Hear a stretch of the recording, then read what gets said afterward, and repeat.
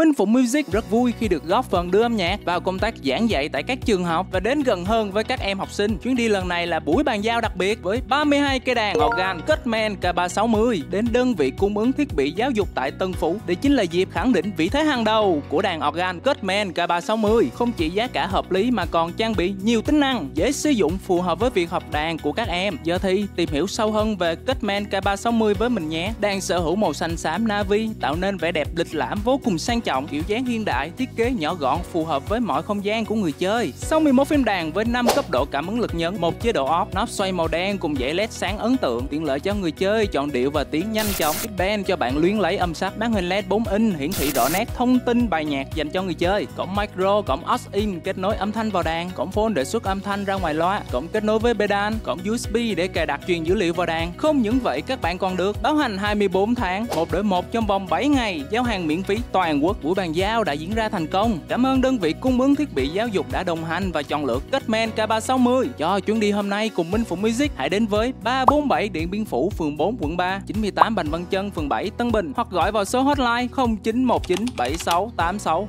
06 để khám phá các nhạc cụ hiện đại khác nhé. Xin chào và hẹn gặp lại.